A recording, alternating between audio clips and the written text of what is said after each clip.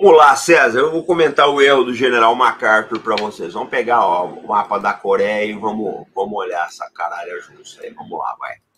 Olha só, gente. Quer ver? Vamos lá. Ó. Vou pegar o mapa da Coreia aqui para vocês.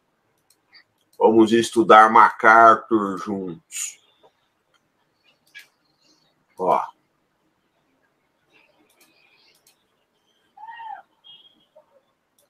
Ó, vamos estudar essa coisa aqui juntos. Gente, isso aqui é o mapa da Coreia, tá? Vamos pegar a visão 3D que é mais legal. Ó, isso aqui é uma. Pode ver que a Coreia é um local muito montanhoso, mas muito montanhoso mesmo. Então, deixa eu dar uma diminuída aqui. O que acontece? Quando vem a guerra da Coreia, a Coreia do Norte está aqui mais ou menos, né? O paralelo 38, né? Está aqui mais ou menos. A Coreia do Norte invade o Sul. Eles tomam tudo isso em coisa de algumas semanas, tomam tudo. Os americanos ficam cercados aqui em Busan, tá? O general o, general Walker Bulldog fica cercado aqui em Busan. Sobrou só essa pontinha aqui para os americanos, que é mais ou menos aí uns 200 quilômetros do Japão, Busan. O que acontece? O MacArthur ele faz um desembarque brilhante aqui em Incheon, tá? a oeste de Seul. Ele faz um desembarque de fuzileiros brilhante. Então, o que acontece? As tropas dele rumam para o norte para libertar Seul e o general Walker rompe o cerco aqui em Busan e começa a fazer um movimento aqui na península para encontrar as tropas de MacArthur.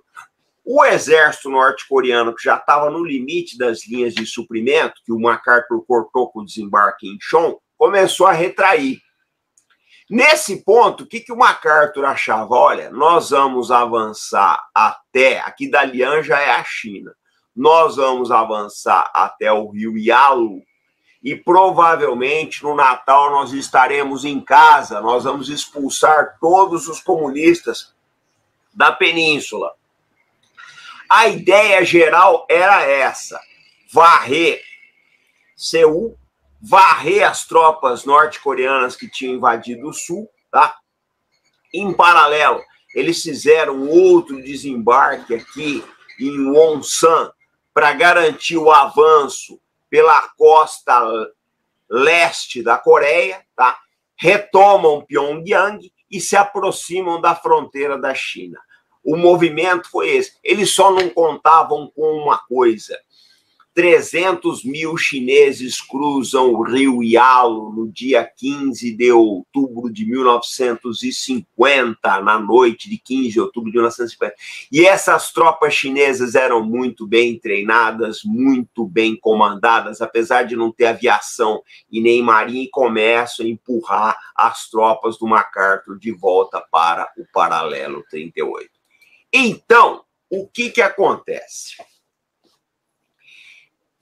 Eu acho que o erro do MacArthur não dá para crucificar ele, gente. Talvez qualquer um de nós aqui cometesse esse erro, é a embriaguez da vitória. Embriaguez da vitória. Né?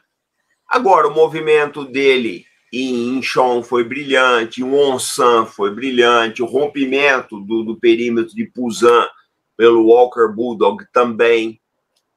Ele fez o que ele podia, era um grande general, mas errou, né? Ele, ele não esperava que os chineses iam fazer aquilo, né? E o chinês fez, né, velho?